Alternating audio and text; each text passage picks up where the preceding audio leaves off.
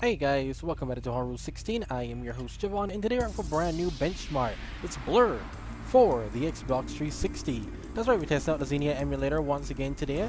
Testing out the game of Blur, which, as you can see, isn't great. Not playable in my dominications. I don't even know what that means. I decided to test this out today because why not? I'm testing every Xbox 360 game out and apparently this was the results of that. This is how Blur runs on the Xbox 360 Xenia emulator. It ain't doing great. So this is going to be a very short video. As you can see, the CPU usage is higher than normal for most uh, gameplay tests on here. I don't even know if you guys can hear me at this point because this crap was loud. Every I hope you don't you're not prone to seizures because of that. The opening menus were crazy. Everything was kind of crazy.